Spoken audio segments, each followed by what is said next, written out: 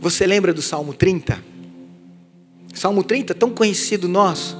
Tem um versículo lá no Salmo 30 que ensina o seguinte: O choro pode durar uma noite.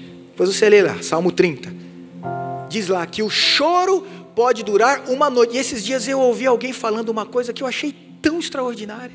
Eu falei, isso é verdade. O choro pode durar uma noite. E aí a pergunta é a seguinte: o choro dura uma noite, mas quanto dura uma noite? Você já tinha pensado nisso? O choro, diz a Bíblia, dura uma noite. Mas quanto tempo dura uma noite? Quanto tempo, gente? Depende. É, depende do quê? Depende da sua capacidade de descansar.